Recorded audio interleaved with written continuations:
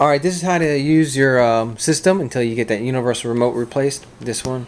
Right. And uh, this uh, BD is the Blu-ray player remote. AV system is your soundbar. TV is your, you know, the TV and internet TV. And it has a 3D button on here and the wide button to stretch out the picture. Change your inputs right here to like, you know, uh, Blu-ray player to cable box, whatnot. Internet apps for the internet okay and this controls your cable box but they're going to come out with a new one and you know hopefully program everything all these remotes to the cable cable box remote if not get a harmony 650 which is a, a universal remote you hit one button it turns everything on hit one button turns everything off It's called a Harmony 650, Mhm. and where would I get that? CompUSA, right? Well, the same place where you got this Yeah. from TV from. All right. So anyhow, we're gonna start off by turning on the TV. Uh, turning on the TV, you would normally just hit TV power, cable power, but that remote, we're gonna get you. There's gonna be a different remote. So as for now, you're just gonna get use the TV remote and hit power, and now come on and that light will turn from red. Red means it's off. Green means it's on.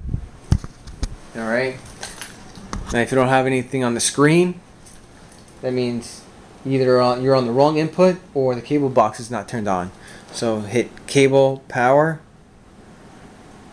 All right, and then that light right there will turn on, the, the on light, and there you go. All right, now if you want to watch a Blu-ray player, I mean, if you want to watch a Blu-ray movie, only thing you would have to do to watch a Blu-ray. Oh, by the way, this automatically turns on with the TV and turns off with the TV. It's in um, synchronized using the HDMI control feature. So this is always your soundbar is always in sync with your TV turning on and off, and it should always be on TV input. If it's not, just hit input selector. Make sure it's always on TV.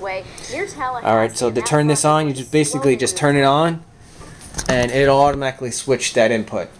All right, it's smart. So um, again, you don't even have to change the input. Just turn the Blu-ray player on using this remote. You just hit the power button right here, and then on the this remote. Actually, you can actually turn on the TV too. So you the TV power, Blu-ray power, and you can change the input to back to cable. So you could just actually use this one, and then hit, hit input twice. I labeled your inputs, by the way. Say again?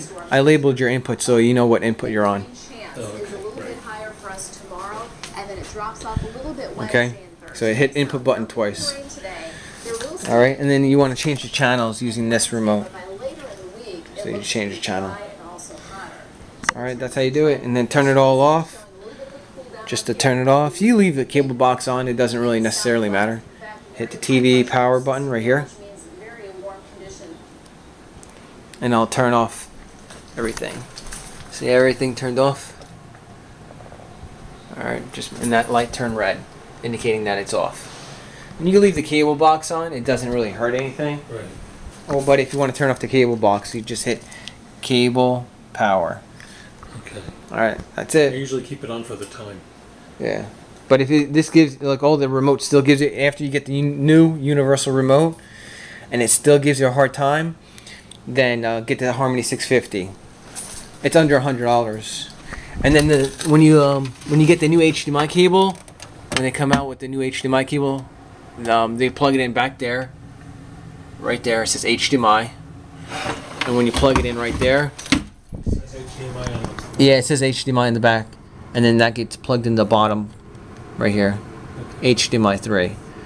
You just plug it in right there. It goes in one way, and then when you turn it on, just hit the input button on here. So it would hit TV power, which right right here, and then hit input. And on the screen, I'll say cable box. Let me just show you real fast.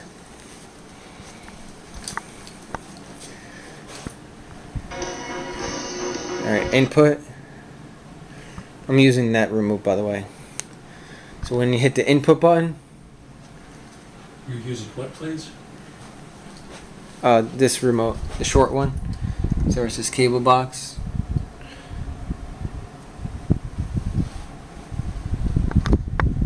So it'll be like right here.